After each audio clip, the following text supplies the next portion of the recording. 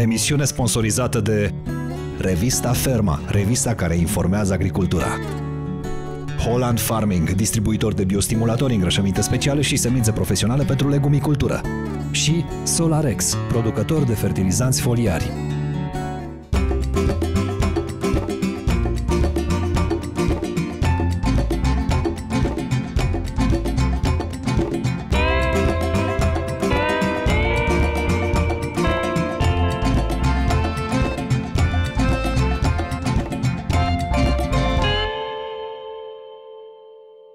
Ziua și bine ne-am regăsit la o nouă ediție a emisiunii în grădina Danei.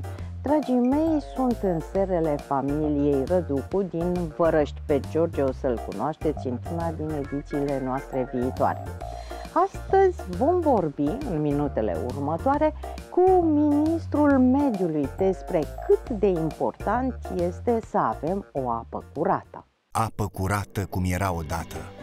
Aș vrea să vorbim astăzi despre un proiect pe care Ministerul dumneavoastră l-a inițiat de protejare a apelor. Este într-adevăr uh, un moment bun să discutăm despre aceste aspecte și este un moment bun să discutăm uh, dintre relația dintre Ministerul Mediului și Ministerul Agriculturii.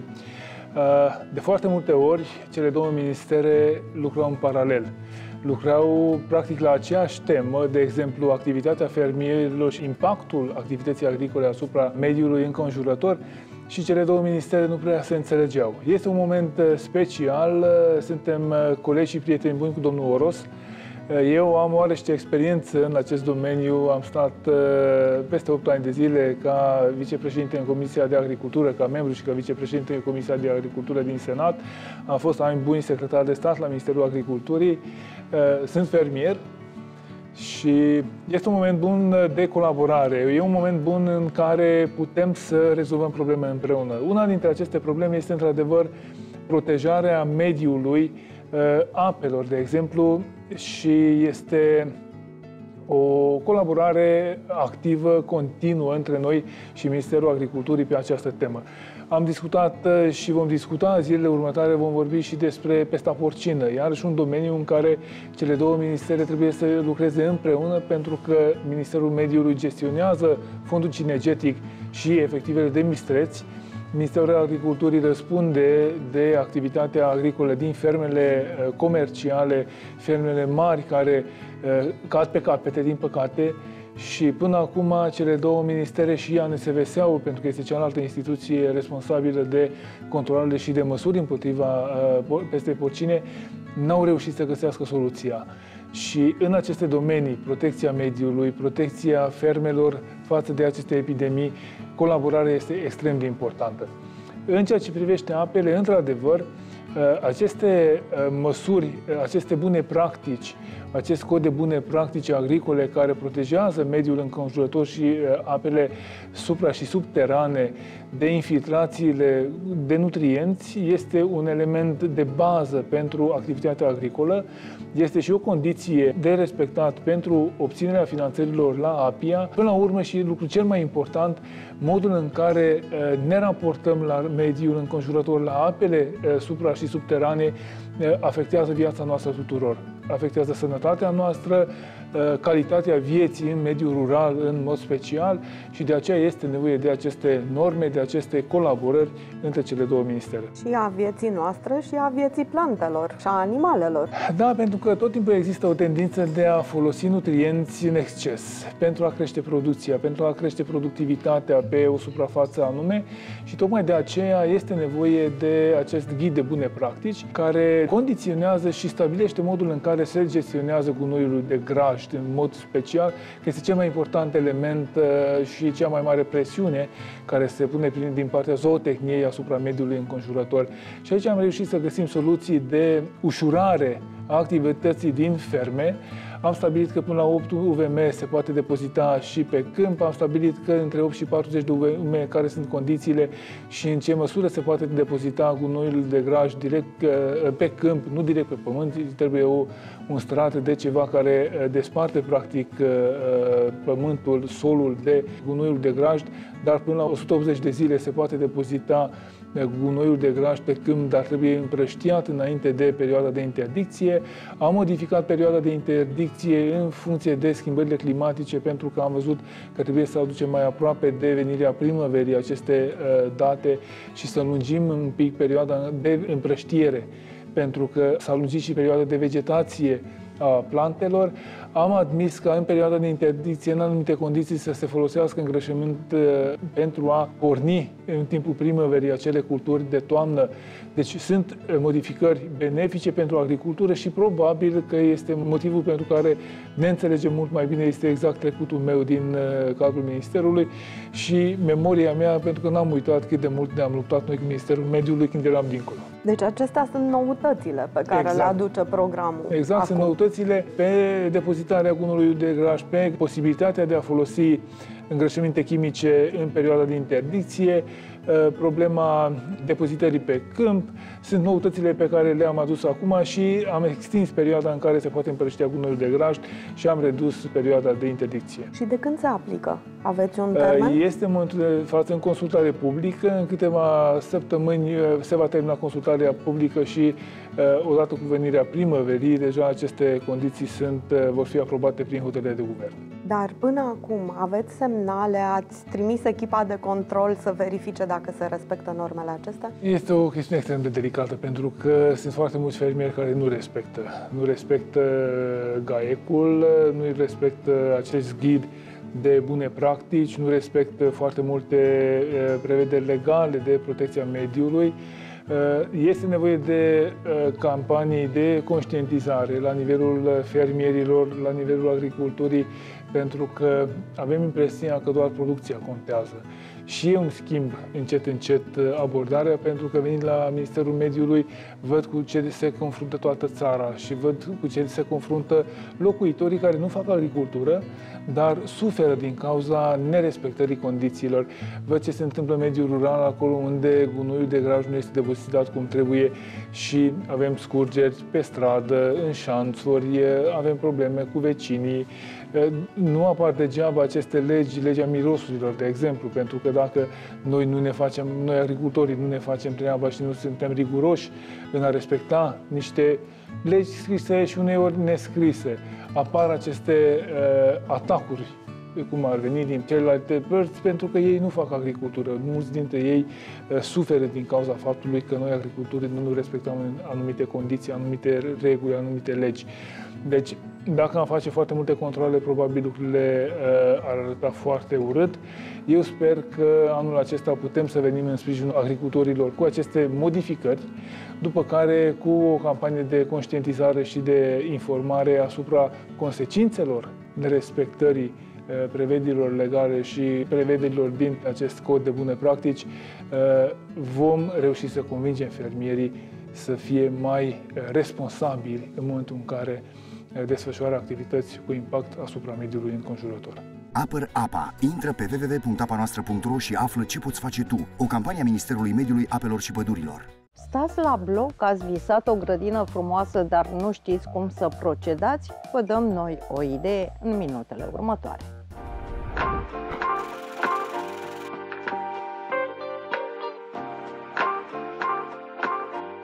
Aujourd'hui, ce n'est pas une simple terrasse que nous allons découvrir, mais un véritable jardin suspendu surplombant la capitale.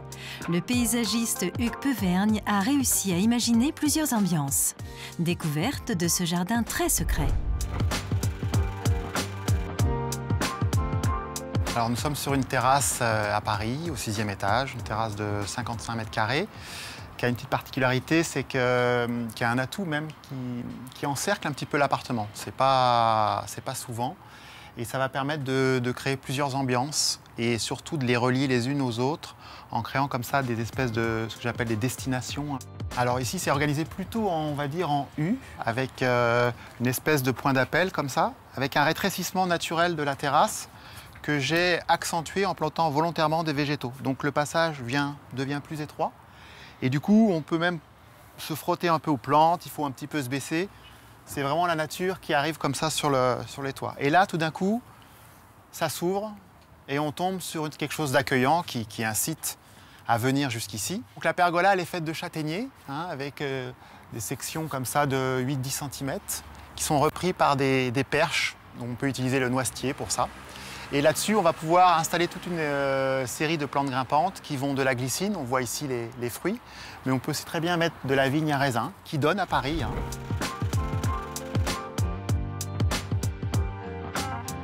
À Paris, ce qui est sympa, c'est à la fois de se sentir dans la ville, euh, de voir les toits, euh, ce côté comme ça un peu magique de Paris, et en même temps d'être dans la végétation. C'est ce contraste-là qui est très intéressant.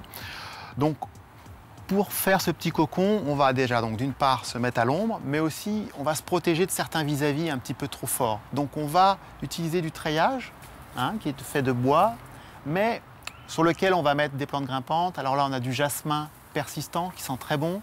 On a aussi de la vigne vierge, on a quelques rosiers. Mais on va se dépêcher, on va pas combler complètement, on va pas s'enfermer dans quelque chose, qui réduirait un petit peu l'espace. On va se dépêcher de faire des, des vues comme ça qui filent. Alors là, on a fait trois petits, euh, trois petits hublots en quelque sorte, ce qui permet un petit peu juste comme ça de, voir des choses comme ça par, euh, par, par, par, éclair, un petit peu comme ça.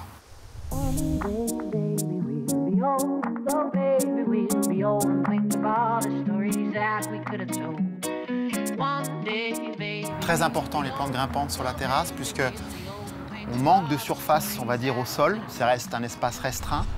Par contre, on peut gagner en verticalité et c'est autant de mètres carrés végétalisés de gagner. Hein. Euh, là, je vois le lierre, finalement, qu'est-ce qui me prend au sol? Il me prend allez, 25 cm. Par contre, il a un résultat euh, de plusieurs mètres carrés.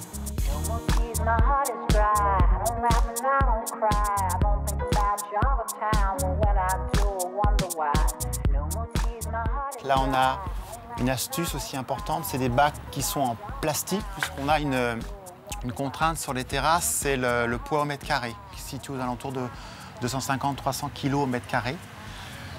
Donc je vais prendre des bacs industriels en plastique qui sont très laids, sur lesquels je vais mettre des, habillages. Alors soit du bois, soit c'est de la tôle de récupération. On fait tout pour planquer ça. Et on a la modernité du matériau, on va dire, euh, utilisé, mais qu'on cache avec quelque chose de charmant. Au-delà de cet espace ici, pour moi, c'est autre chose. J'appelle ça l'échappée. Je mets en place exprès un rétrécissement de végétation avec des plantes comme ça qui viennent faire un petit peu une espèce d'arche. Et au bout, un petit portillon qui donne l'impression de dire bah, je peux même encore aller par là-bas. Qu'est-ce qui se passe là-bas?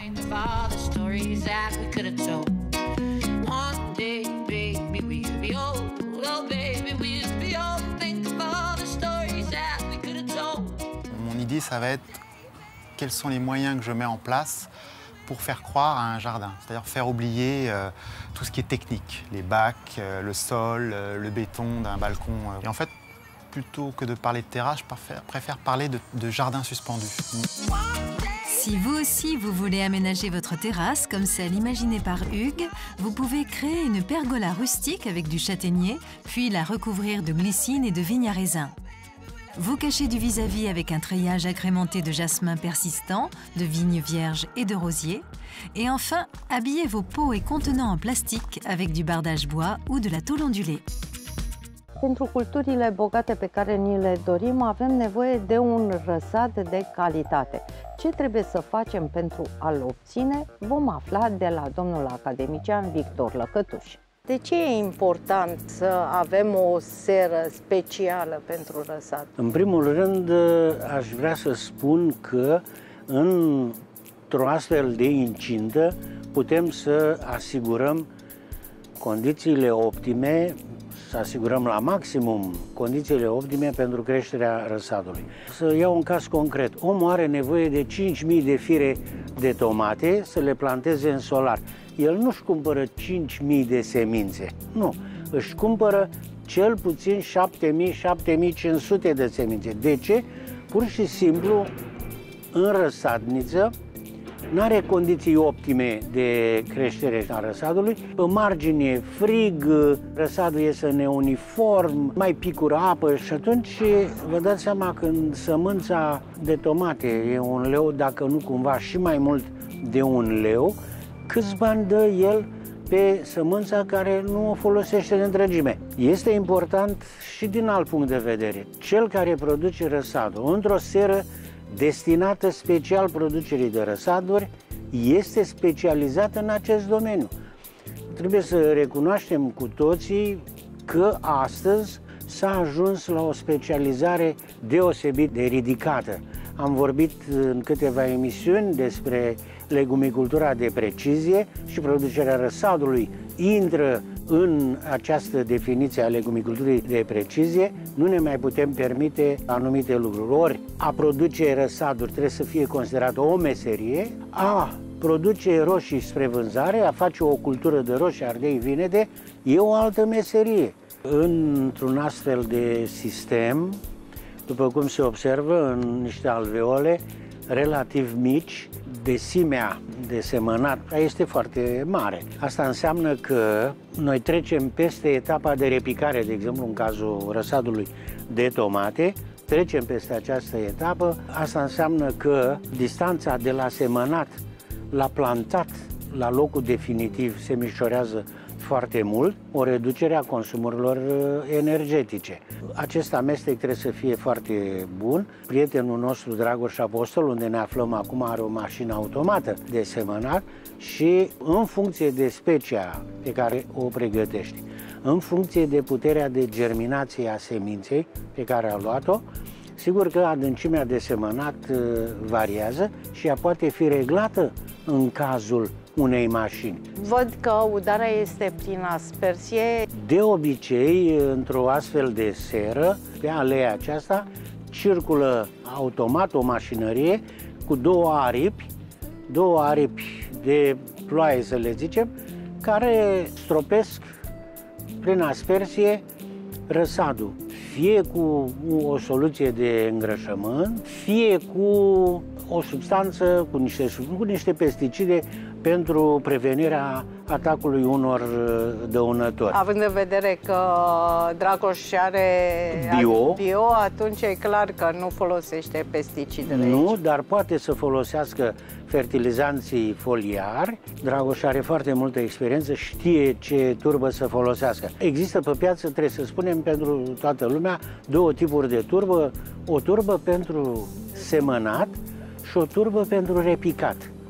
Turba pentru semănat, dacă îi se, se uită pe buletin, are în general uh, conținuturi de elemente nutritive mai scăzute și de asemenea nu durează foarte mult, adică se tot și uh, elementele se spală. Astfel că dacă mai ținem răsadul mai mult, vom constata că el începe să subțieze și să se îngălbenească. Caz în care, sigur că trebuie schimbat uh, substratul. În metoda clasică se repică și se repică într-un amestec special care conține turbă pentru repicat.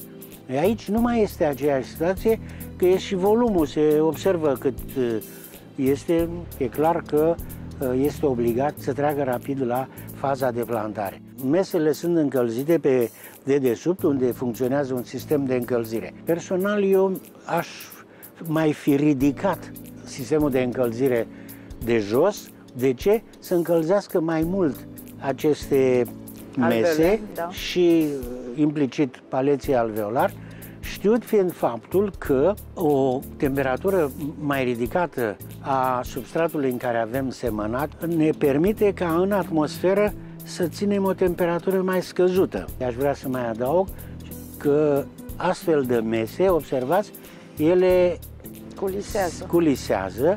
De ce? Pentru a putea pătrunde, de exemplu, a pătruns un om aici care a lucrat primele una, două, două și ceva alveole, că mai ai de umbla la ele, unele s-au uscat așa, după care trage masa și se mută acolo și lucrează jumătatea cealaltă de, de masă. În felul acesta, suprafața este ocupată la maximum. Deci suprafața construită, ceea ce e foarte important, că nu e numai construită, este și încălzită. El acum își face răsadul, dar ne-a spus că va aduce un robot de altoire. De ce e important răsadul altoire? Este foarte important datorită particularităților deosebite pe care le aduce porta altoiul și, în principal, anumite rezistențe. Rezistențe, de exemplu, la nematozi, foarte important așa de greu scăpăm de acești nematozi în sol, apoi nu tot materialul biologic pe care îl cultivăm și în care noi suntem interesați datorită altor parametri care țin de productivitate, de calitate, are și rezistență înaltă, să spunem, la nematozi. De asemenea, permite o altă dezvoltare a sistemului radicular și cultivarea, de exemplu, în câmp, unde nu întotdeauna avem o irigare cum trebuie, permite dezvoltarea unui sistem radicular profund, uh, o explorare a unui volum mai mare de sol și în acest fel și o, să-i spunem, toleranță la perioadele de secetă relativă. De fapt, să spunem adevărul, pentru a nu avea probleme la desfacerea răsadurilor, probleme care noi le știm că sunt și în momentul de față, în sensul că nu prea cumpără lumea, de data aceasta el va oferi răsad altoit. Robotul face toate acestea, dar îi trebuie și așa cameră, celulă în care răsadurile să se păstreze. Da. Deci e o operație complicată, nu e așa ușor. Da, dânsul are aici o cameră de germinare care va fi și cameră de calusare. Pentru că această calusare, care se produce între Altoi port și Altoi, port Altoi, și da. Altoiul, care vine, așa cere condiții speciale de temperatură și, în mod special, de umiditate. Umiditatea trebuie să fie de minim, umiditatea atmosferică, minim 85%. Dânsul are această cameră cu dublă destinație, ceea ce nu este rău deloc. Am plecat de la Vărăști și am ajuns la Căciulați în serele pline de flori ale familiei Titiliuc. Să vedem, deci, cine câștigă astăzi premiul de la editura Casa din Oradea. Foarte, foarte multe răspunsuri. Să vedem cine e norocosul. Mă bucur că sunteți adeptul cărților de la editura Casa. O câștigătoare, doamna Monica Șerban, strada Vasile Goldiș, sectorul 3, București. Doamnă, sper să vă fie de folos aceste cărți. A sosit momentul să aflăm cine este câștigătorul voucherului de 500 de lei de la micul fermier. Mă bucur că mi-a scris într-un număr atât de mare. Din păcate, avem un singur câștigător, iar acesta este... Orzață Marian, Bulevardul Metalurgiei, București. Vă mulțumesc tuturor pentru cuvintele frumoase și vă rog insistent să respectați regulamentele de concurs, dacă vreți să fiți înscriși la extragere, adică să ne trimiteți toate datele dumneavoastră, o adresă completă, stradă, număr de casă, localitatea, județul, numele, prenumele și un număr de telefon. Întrebarea pentru următoarea etapă a concursului sponsorizat de Micul Fermier este de câți ani se difuzează pe TVR1 emisiunea În grădina Danei? Și vă spun o singură dată răspunsul. Suntem de 10 ani prezenți în casele dumneavoastră. Așa că vă aștept mesajele pe adresa daniela.constantinescu.tvr.ro Mai avem un premiu pentru dumneavoastră de la sponsorul nostru Solarex din Craiova. Pentru a câștiga pachetul radial porumb curat, trebuie să răspundeți corect la întrebarea după câte zile de tratament mor complet buruienile. Dacă știți răspunsul, vă aștept mesajele pe aceeași adresă daniela.constantinescu.tvr.ro până în data de 11 aprilie, ora 20. Însă dacă vreți să câștigați niște semințe Vitalica și un litru de Cropmax de la Holland Farming, trebuie să răspundeți corect la întrebarea cum se numește hibridul de ardei capia cu fructe mari, cu rezistență la boli și dăunători specifici și fructificare continuă. Vă aștept răspunsurile corecte pe aceeași adresă daniela.constantinescu.tvr.ro Atât pentru astăzi. Vă mulțumesc că ați fost alături de noi și vă aștept și duminica viitoare pe TVR1 de la ora 10 la emisiunea În grădina Danei. Până atunci, toate cele bune și aveți grijă de dumneavoastră!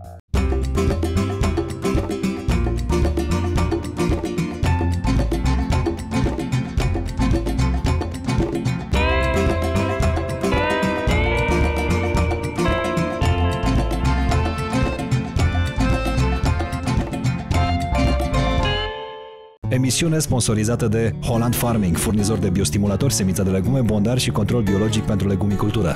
Și Solarex, producător de fertilizanți foliari.